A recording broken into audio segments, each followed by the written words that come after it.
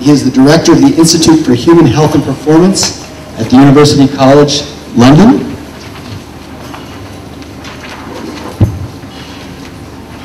He obtained his a first-class degree in neuropharmacology and cardiorespiratory physiology in 1984. He graduated from the Middlesex Hospital Medical School in 1987. He has since trained in, to specialist status in general internal medicine, cardiology, and intensive care.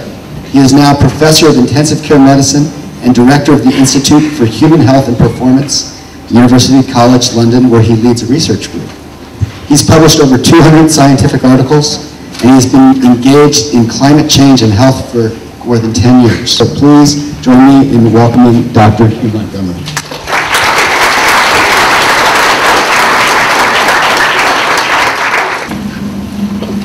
I doubt there's a more important gathering of people in the whole of Durban at the moment than you.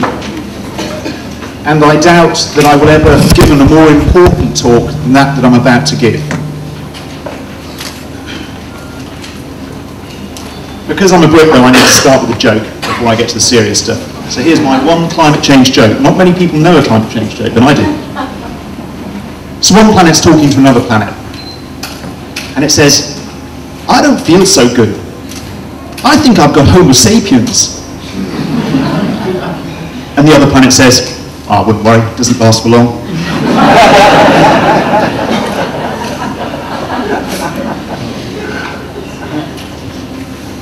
this is where I work, and this is the sort of patient I look after. And sometimes patients like this end up on our intensive care unit dying and die because of some catastrophic event that's befallen them. They're hit by a truck. Far more often, they end up there because they become chronically sick that makes them vulnerable when that second hit arrives. And I'd like to start by giving a brief outline of the chronic sickness that our world faces before we move on to that second hit. Here's human population. Whoever drew this graph probably got it wrong because humans didn't really turn up until around 140, 150,000 years ago.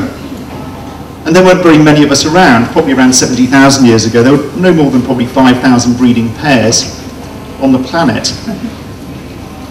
And it took us till around 1804 to get our first billion, and it took well over 120 years to get our next.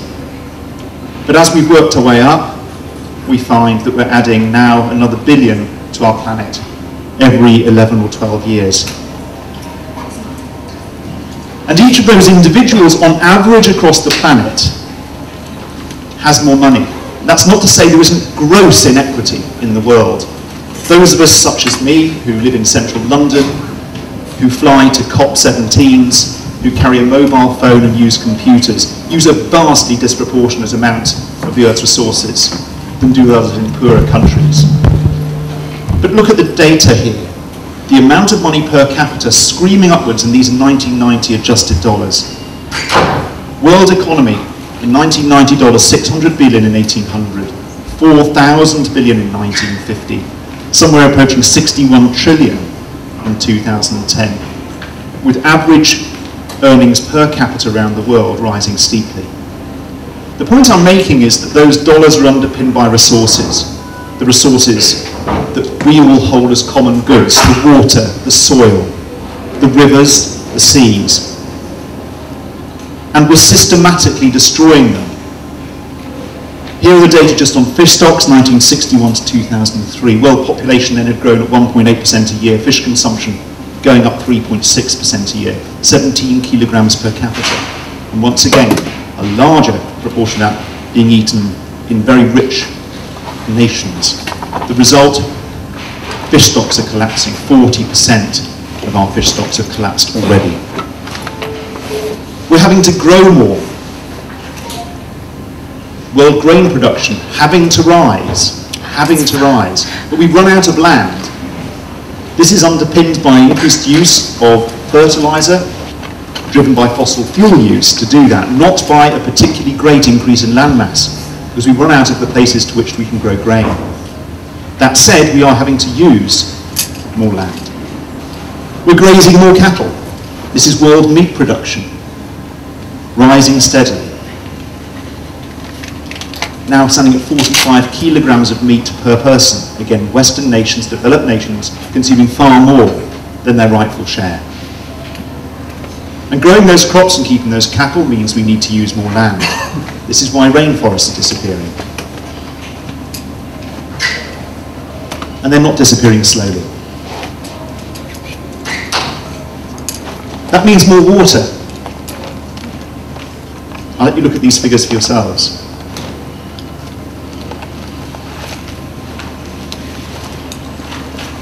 And as a result of this, the world has water crises pretty much everywhere because a great deal of the water we consume comes from fossil aquifers. These are sealed reservoirs of water that once empty do not refill. When they go, large numbers of people suffer. And we know, for instance, that Saudi Arabia's grain crop fell by 71% uh, shortly after the year 2000 because of the loss of that water, which is why they're having to buy land elsewhere. All of that means less life. This from the Living Planet Index, which there's a new one just released 2010 actually.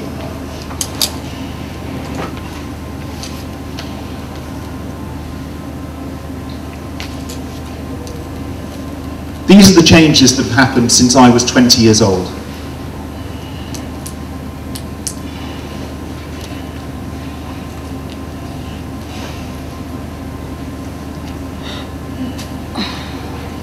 This is the biggest mass extinction that the planet has seen on the fossil record. And we're living through it now.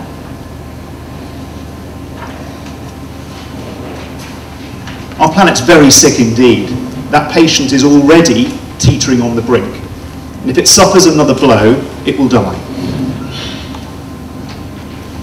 Especially if that blow is sudden and severe. Now, people talk about climate change as being a natural phenomenon. Yes, climate change has always changed, but notice these things, they changes in tilt, wobble and precession, these are happening in orbital cycles, are happening over geological timescales. The change that we're generating today is happening over matters of decades.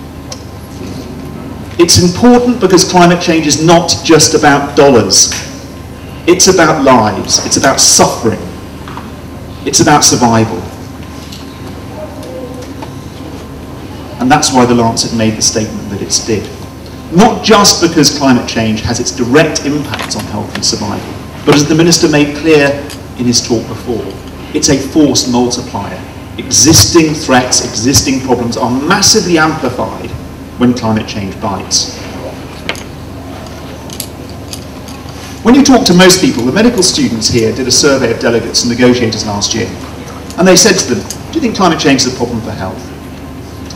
A very large number had no idea that climate change had anything to do with people. And those that did felt that it was probably something a bit to do with malaria and, quotes, the WHO can probably sort that out. There's a lot more to it. As temperatures rise, bacterial doubling rates increase, which is why you tend not to get so much diarrhea from eating chicken in England, which is generally a pretty chilly place, and you do if you go to warmer countries, because bacteria grow more quickly. The risk of malaria in some areas will definitely drop as swamps dry out and it becomes inclement, but in some areas it will rise. These were data, bear in mind, from low to mid-range estimates from 10 years ago, and as I've explained, we're way past those low range estimates. So bear in mind, a lot of these scenarios are pathetically lightweight. Things will be much worse. Red represents the certainty of malarial transmission. And this was estimates on low to mid-range risk in the next 50 years. Why? Because in warmer climates, mosquitoes can live. As the temperature goes up, the malarial parasite replicates faster inside the mosquito, so the mosquito becomes infected more quickly. And this applies to other things like dengue. The viral incubation period shortens, the breeding cycle of the mosquito shortens, and they feed more frequently because they're buzzing around a lot more when it's warmer. Higher temperatures kill. We are evolved as multi-celled organisms over 540 million years to a very niche range of temperatures. And as temperatures rise, mortality rates rise. So these are just deaths in the United Kingdom. As it gets warmer, people die more. And you can see that anywhere in the world. These are data from Delhi, just a few seasons showing seasonal changes. That as it gets warmer, people die, as it gets cooler, people don't. This is just a function of human biology.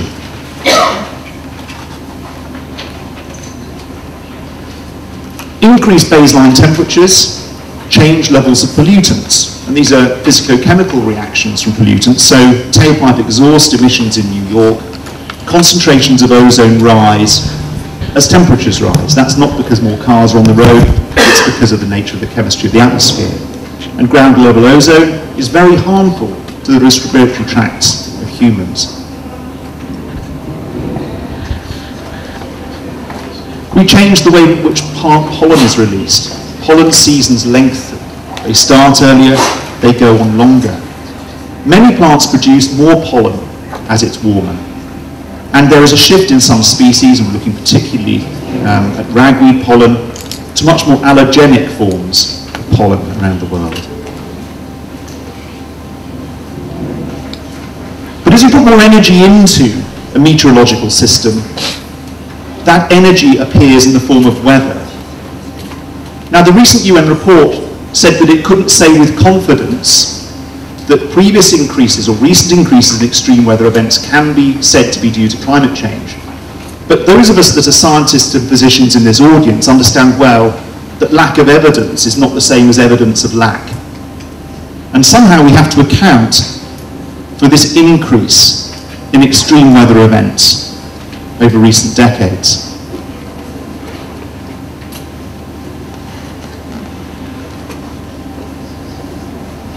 And even in the United States, increase in tornadoes. The point I'm trying to make here is developed nations in many ways feel that they are secure from these effects of climate change, and they are not. Just as there's a global economy, we live in a global atmosphere, and every nation will be affected. I'm going to make reference to this report uh, in the future. I just put it up there so that you know the source as we move forwards published in November of this year, last month.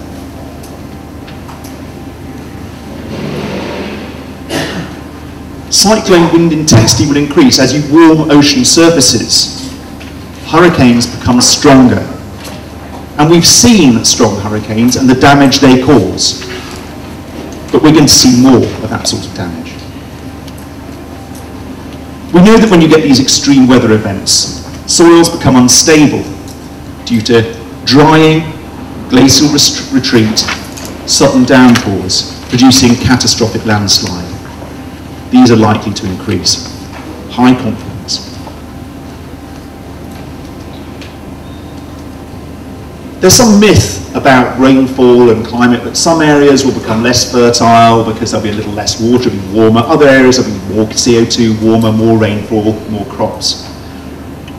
That's a nonsense, because even if you get that improvement in ability to grow crops, one sudden downfall, one big drought at the wrong time, and that crop is written off.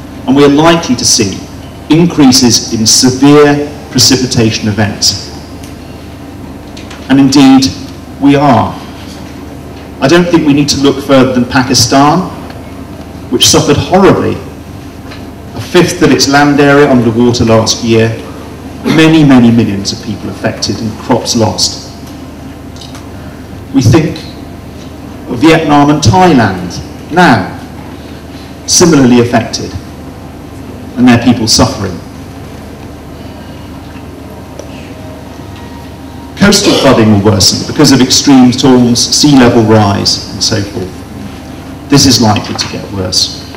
We're seeing these events already.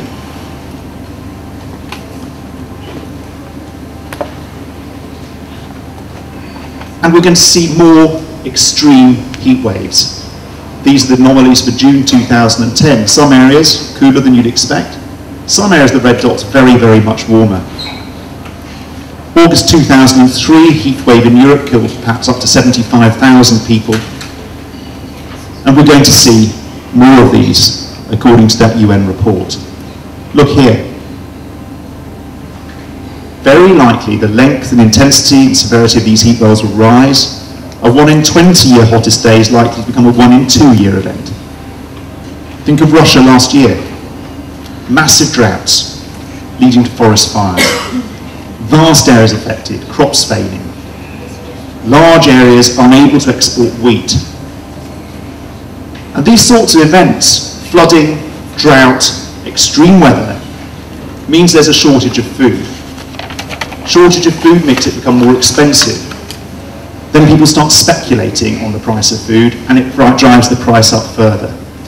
Which is all very well if you live in central London on a doctor's salary. It's not acceptable when you're living on the breadline in a poorer nation state and you can no longer feed your family. We know from Nick Stern's data that climate change will be catastrophic to economies, and we know that poverty drives ill health. And we know that when you have starvation and drought and loss of habitation and disease and poverty, people will move. And when they move into other areas that are similarly distressed, you get conflict. This even from 2003 from a Pentagon report. The result could be a significant drop in the human carrying capacity of the Earth's environment. That's talking about deaths.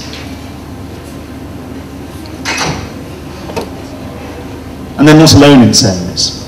We co-authored an article for the British Medical Journal just recently, drawing on statements from the International Institute for Strategic Studies, from the CIA, from organisations that you and I would perhaps not normally consider to be the most liberal organisations in the world. But they are concerned. I was deeply impressed with the Minister's words earlier on. I've been to many meetings about climate and health. He's, believe it or not, the first person I've heard that actually starts talking about ecosystem effects. Because we're at the top of an ecological pyramid, and if that collapses beneath us, our foundations are lost. Again, this paper now some seven years old, and what I've told you before, we're now exceeding the worst case scenarios that have been predicted by the IPCC earlier on. This happening on top of that mass extinction event about which I spoke earlier. So the question then, have we a terminal disease now? Or is there a cure? I don't know. If there is a cure, it's in your hands. And that's why you are the most important people in Durban today, because no one else is listening. And they have to listen, and they have to listen urgently to you. We need to inform patients, we need to inform our colleagues, we need to inform our politicians. Because if you work in health, unlike politicians generally in the world, or bankers, you're trusted to speak the truth. You must speak this truth of the risks, but also the benefits in Western worlds, if we substitute driving for walking, we get reductions in diabetes, obesity, stroke, coronary vascular disease, peripheral vascular disease, hypertension, depression, dementia, breast cancer, bowel cancer. As a Western white male in Britain, the second most likely thing from which I will die is bowel cancer. And any of you who've seen someone die of that disease, it's horrible. The biggest preventable cause is saturated fat consumption from red meat and red meat consumption. Reducing those, taking more exercise, benefits the planet and it benefits the health of our country, it benefits our health economics. We have a good selling point here and Andy Haines will be here this afternoon to show that not only does this apply to Europe, huge fiscal savings, but he modelled this around the world for different countries, of different levels of poverty, different cities, and showed, I won't go through these in de detail, except to say, very big advantages wherever you are in the world.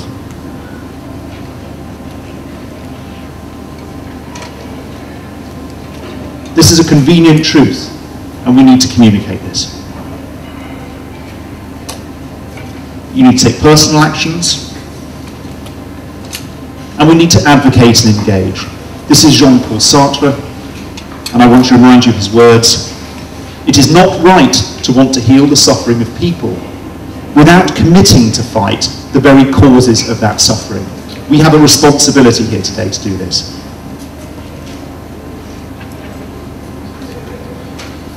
We have a responsibility not to sit on the sidelines of these negotiations, to think that we're marginal to them. The health message is central. Our politicians must understand that people are suffering and dying now, and that very, very, very, very many more will suffer and die in the future unless they act now. The talk about delays for eight years are a frank nonsense, and we must say so to our ministers and to those that we know. These are personal thoughts. I'm not going to suggest that they're the thoughts of this conference, although there is a conference statement I'd encourage you to read and sign. We need to know what we're missing. We need to fill the gap. We need an urgent negotiated deal that's meaningful. We need to measure where we are. We need to put the money into the system. We need to make it available to those countries that need it. And we need to give them power over its use. And we need to sort out deforestation. Those are just headlines. They're personal views, but I think you may or may not agree. And we need to stand up for what's right. Waiting for everyone else to do something before you do does not show moral leadership. So, from where I come from, the EU, in my view, should just go ahead anyway, making its reductions.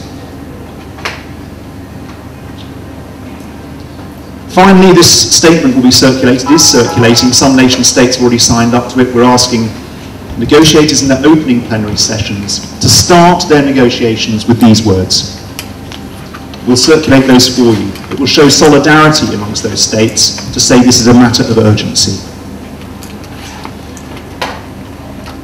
And I'm finishing now, so Josh can not worry too much because I'm sticking to time.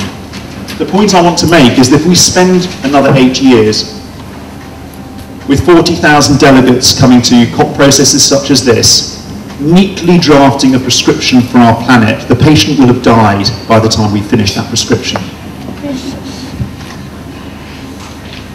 And that matters. And it matters to me, and it matters to me personally. This is Fergus, he's my youngest son.